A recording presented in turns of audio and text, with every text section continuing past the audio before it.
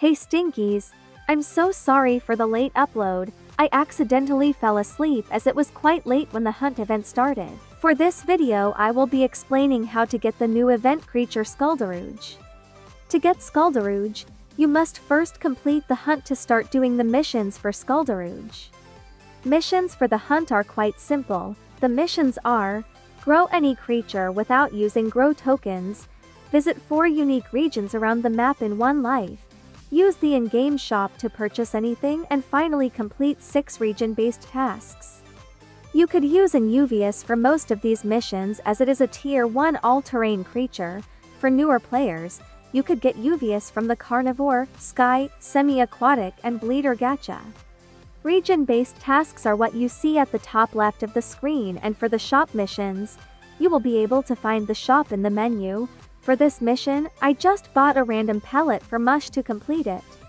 Now that the hunt missions are completed, you could start the Skulderouge's missions. The missions are, complete the mission for the hunt, collect 3 Photovore Explorer tokens, grow a medium or higher sized Photovore to Elder 3 times and kill a medium or higher sized Photovore 20 times.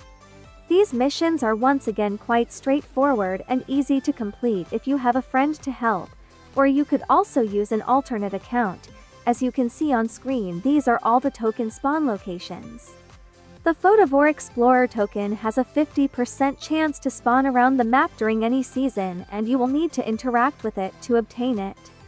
The fastest growing tier 3 Photovore creature is the Aholai as it takes about 23 minutes to reach its elder stage.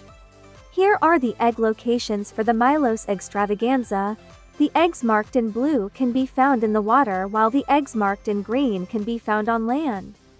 That is all for now stinkies, once again I'm extremely sorry for uploading this extremely late.